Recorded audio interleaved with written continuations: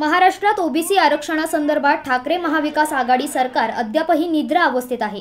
महाविकास आघाडी सरकारच्या निष्क्रिय कारभारामुळे राज्यातील ओबीसी समाजाला आरक्षणापासून वंचित राहावे लागत असून या निष्क्रिय कारभाराचा सोमवारी पनवेलमध्ये उपोषण करून जाहीर निषेध करण्यात आला. मध्य प्रदेश सरकारने सर्वोच्च न्यायालयात ओबीसींचे आरक्षण पुनर्स्थापित केले. त्याप्रमाणे महाराष्ट्र सरकार का करू शकत नाही याचा जाब या आंदोलनातून सरकारला विचारण्यात आला. तसेच ओबीसी आरक्षण लागू करण्यासाठी राज्य सरकारने तातडीने पावले उचलावीत असे निवेदन यावेळी प्रांत अधिकारी मार्फत राज्य सरकारला देण्यात आले. राज्यातील महाविकास आघाडी सरकारने ओबीसी समाजाच्या आरक्षणाची राजकीय हत्या करून ओबीसी समाजास दडपण्याचे षडयंत्र रचले आहे. त्या निषेधार्थ तसेच मध्य प्रदेश सरकारप्रमाणे महाराष्ट्र सरकारला लोकशाही मार्गाने ओबीसींचे राजकीय आरक्षण पुनर्स्थापित करण्यास भाग पाडण्यासाठी विधानसभेचे विरोधी पक्षनेते देवेंद्र फडणवीस भाजपचे प्रदेशाध्यक्ष चंद्रकांत पाटील ओबीसी मोर्चा प्रदेशाध्यक्ष आमदार योगेश टिळेकर यांच्या मार्गदर्शनाखाली तसेच भाजपचे उत्तर रायगड जिल्हा अध्यक्ष आमदार प्रशांत ठाकूर यांच्या नेतृत्वाखाली भाजप ओबीसी मोर्चातर्फे सोमवारी पनवेल प्रांत कार्यालय येथे एकदिवसीय लाक्षणिक उपोषण करण्यात आले. तसेच ओबीसी आरक्षण लागू करण्यासाठी राज्य सरकारने तातडीने पावले उचलावीत असे निवेदन यावेळी प्रांत अधिकारी मार्फत राज्य सरकारला देण्यात आले. या आंदोलनात भाजपचे तालुका अध्यक्ष अरुण शेठ भगत शहर अध्यक्ष जयंत पगडे महापौर डॉक्टर कविता चौतमोल कोकण म्हाडाचे माजी सभापती बाळासाहेब पाटील युवा मोर्चाचे प्रदेशाध्यक्ष विक्रांत पाटील उपमहापौर सीताताई पाटील सभागृह नेते परेश ठाकूर माजी उपनगराध्यक्ष सुनील घरत ओबीसी मोर्चा प्रदेश उपाध्यक्ष ॲडव्होकेट मनोज भुजबळ.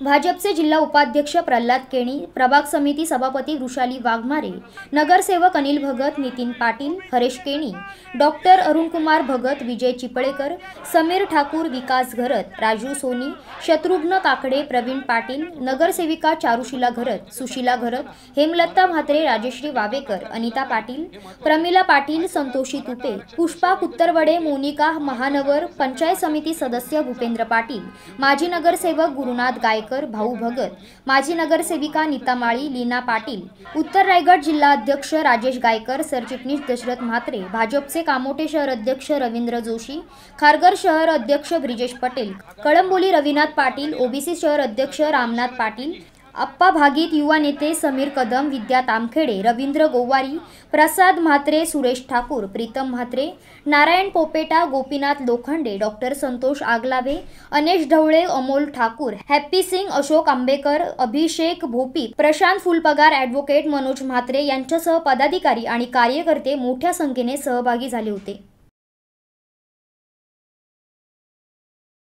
रायगड जिल्हा ओबीसी मोर्चाच्या वतीनं आयोजित करण्यात आलेल्या लाक्षणिक उपोषणाच्या निमित्तानं आम्ही सन्माननीय प्रांताधिकारी यांना भेटलो. आणि या ठिकाणी उपस्थित असणारे आमचे युवा मोर्चाचे महाराष्ट्राचे अध्यक्ष विक्रांतजी ओबीसी मोर्चाचे महाराष्ट्राचे उपाध्यक्ष ॲडव्होकेट मनोज भुजबळजी सन्मान्य बाळासाहेब पाटीलजी या ठिकाणी उपस्थित असणाऱ्या उपमहापौर सिद्धाताई पाटील. इथं उपस्थित असणारे आमचे जिल्ह्याचे अध्यक्ष राजेश गायकरजी सर्व उपस्थित ओबीसी मोर्चाचे पदाधिकारी. उपस्थित असणारे सर्व नगरसेवक नगरसेविका सर्व उपस्थित सहकारी ज्यांनी ज्यांनी आज या ठिकाणी एक दिवसाचं लाक्षणिक उपोषण केलं ते आमचे सर्व सहकारी सर्व उपस्थित आमचे भगिनी आणि बंधूंच्या सोबत प्रांताधिकारी यांची आम्ही भेट घेतली. संपूर्ण महाराष्ट्रामध्ये ओ बी सी समाजामध्ये खूप मोठ्या प्रमाणावरती असंतोष आहे की या महाविकास आघाडी सरकारनं आमच्या हक्काचं आमचं आरक्षण घालवलेलं आहे.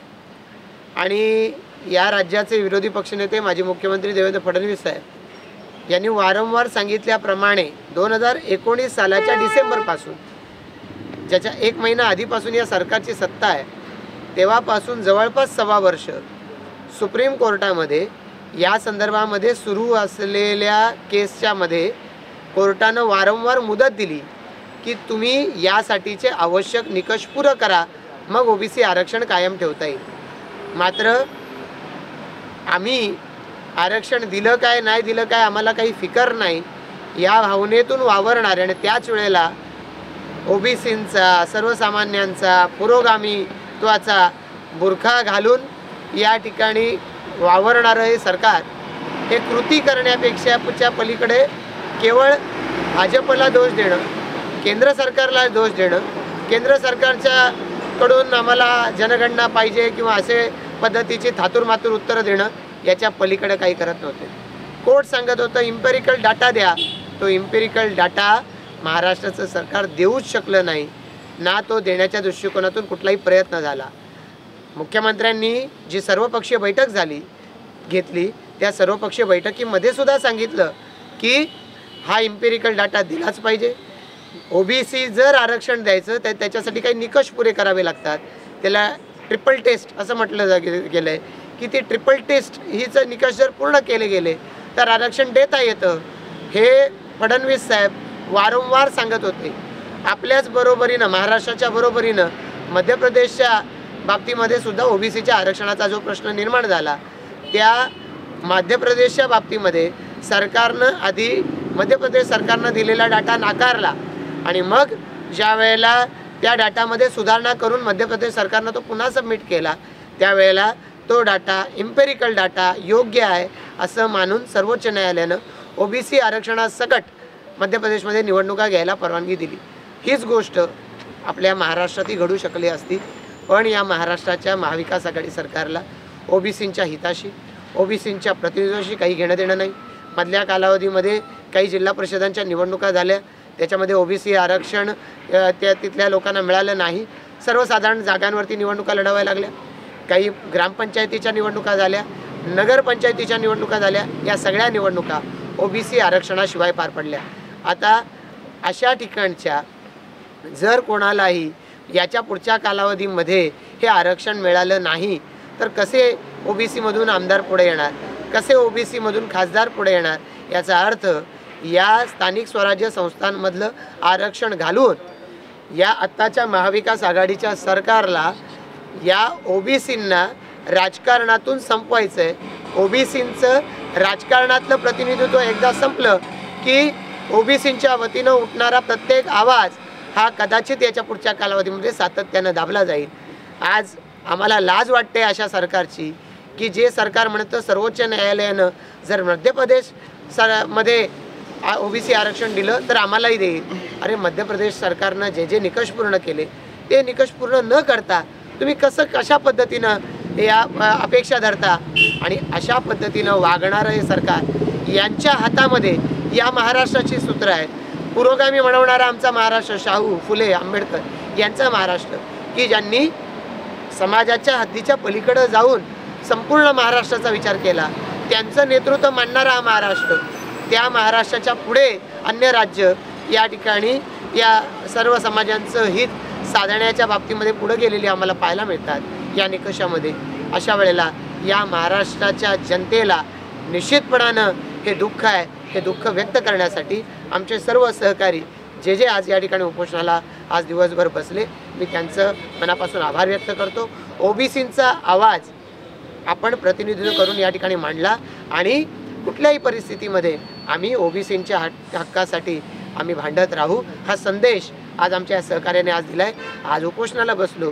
उद्या गरज पडेल त्या पद्धतीनं मोर्चे काढायला सुद्धा भारतीय जनता पार्टी मागं राहणार नाही.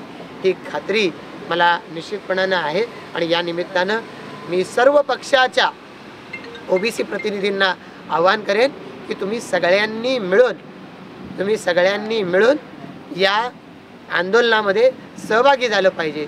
सरकारवरती दबाव हा सरकार पक्षातल्या लोकांनी सुद्धा आणला पाहिजे की ओबीसी आरक्षणाशिवाय निवडणुका नको. निवडणुका पुढे लांबवायच्यात पण त्याच्यामागे प्रशासक लावण्याच्या बुद्धी ही त्याच्या पाठीमागे दिसते आहे पण निवडणुका ओबीसी आरक्षणाशिवाय होऊ नये असं जर वाटत असेल तर जो मागासवर्गीय आयोग नेमला त्याला निधी द्या. जो मागासवर्गीय आयोग नेमला त्याला कार्यक्रम कालबद्ध कार्यक्रम द्या आणि त्या माध्यमातून हे सोडवलं गेलं पाहिजे.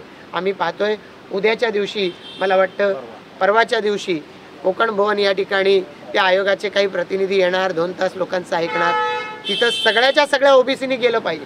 आणि सगळ्या लोकप्रतिनिधींनी जाऊन मागणी केली पाहिजे की ओबीसी आरक्षणाशिवाय निवडणुका घेऊ नका. आमचा हक्क संविधानानं दिलेला डॉक्टर बाबासाहेब आंबेडकरांनी दिलेला. आमच्यापासून हिरावून घेऊ नका.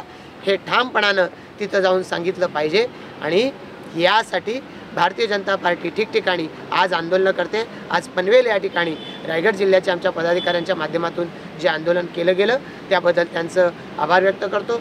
ज्यांनी ज्यांनी आज या ठिकाणी लाक्षणिक उपोषण केलं आहे त्या सगळ्या आमच्या सहकार्यांचं मी मनापासून आभार व्यक्त करतो.